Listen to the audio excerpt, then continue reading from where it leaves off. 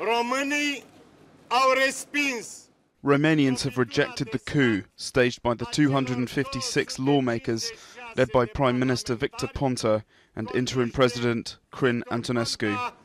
Crin Antonescu. Integrare în lumea civilizată. Vreau să-i Românii prin votul lor The Romanian people's vote was not for me, let it be clear. It was for Romania. a fost un vot pentru România.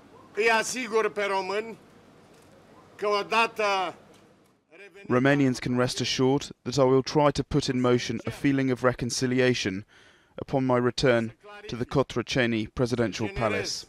un sentiment de împăcare în societate.